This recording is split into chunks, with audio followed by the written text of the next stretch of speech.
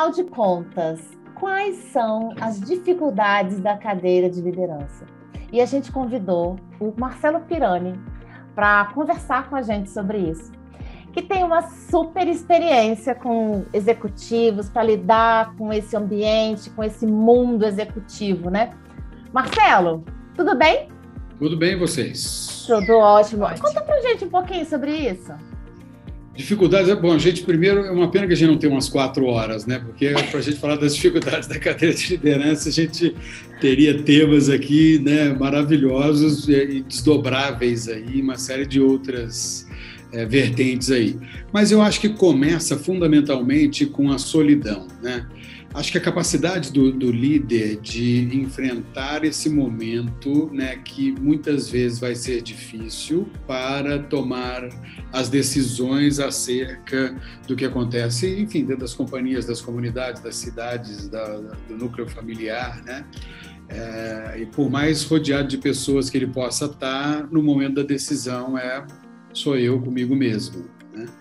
E às vezes a dificuldade de você não ter uma pessoa com a qual você possa contar ou extravasar ou trazer esses, essas suas angústias. Né? Acho que esse é o primeiro ponto, eu diria, né? da, da, da de, não, de, de compreender que a solidão te mostra um caminho que você não é o super-homem. E não precisa ser. Não uhum. precisa ser.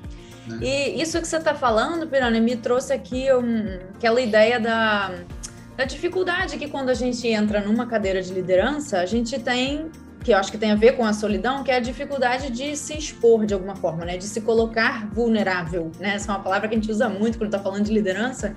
Eu acho que é uma dificuldade em todos os níveis de liderança, seja ela a sua primeira oportunidade como líder, né?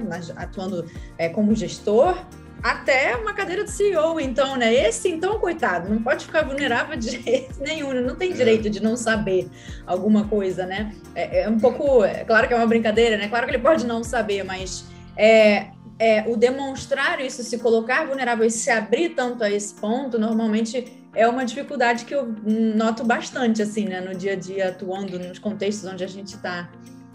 É, e aí você sabe que é um trabalho interno, né? Interno que eu digo aqui dentro, né? De você compreender o seguinte, que eu não preciso saber tudo.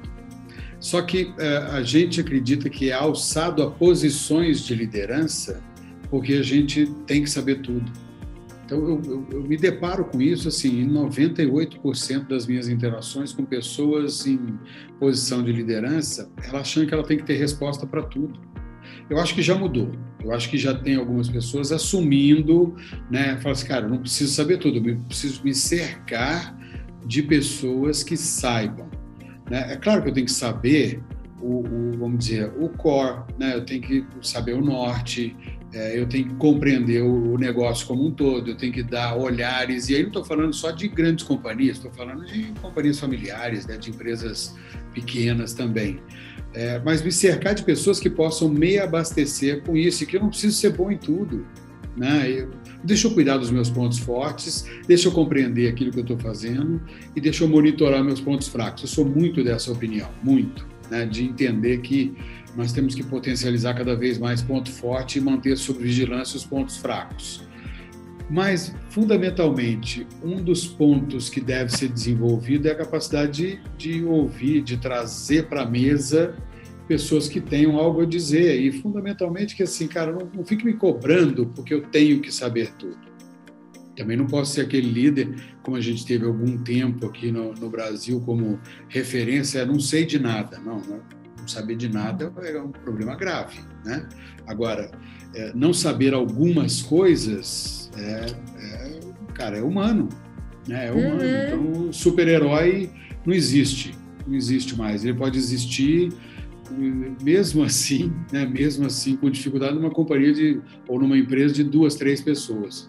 Mesmo assim, a gente pode. Quem é que uma empresa pequena já não passou por, pela agrura de falar, eu não sei fazer, deixa eu buscar fora da empresa, porque eu não tenho recurso aqui dentro, deixa eu contratar alguém, deixa eu buscar alguém, deixa eu buscar alguma ajuda para me mostrar o caminho aqui, para demonstrar quais são os melhores passos que eu devo dar. Uhum. Esquece esse negócio de super-homem, né?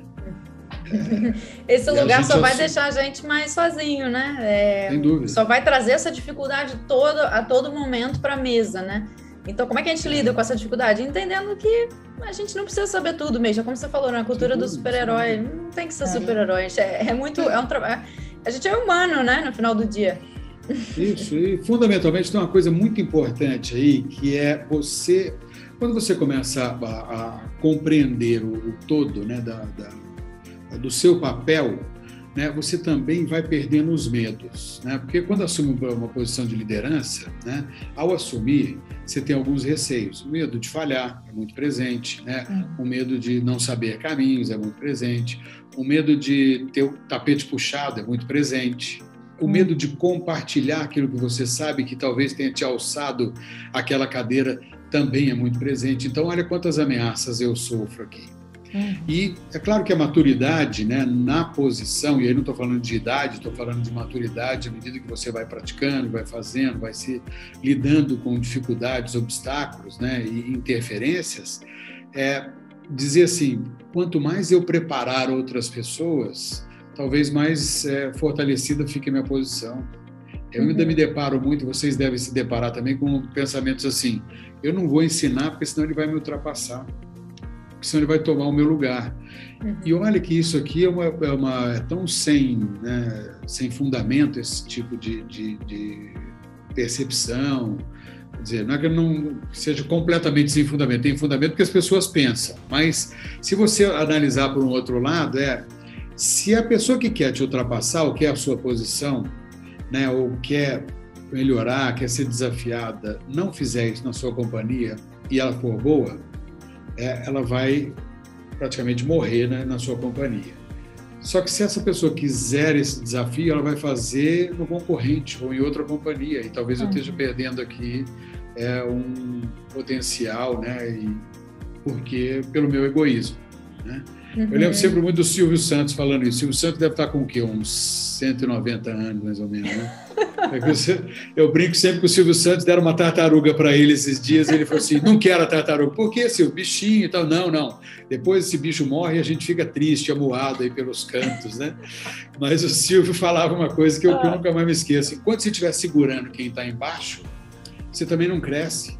Você está preocupado em segurar quem está embaixo libera e vai, né, e corre para o abraço, né, vai, vai é. ser feliz, vai permitir que as pessoas possam ser felizes nesse local, porque é isso que as pessoas estão procurando.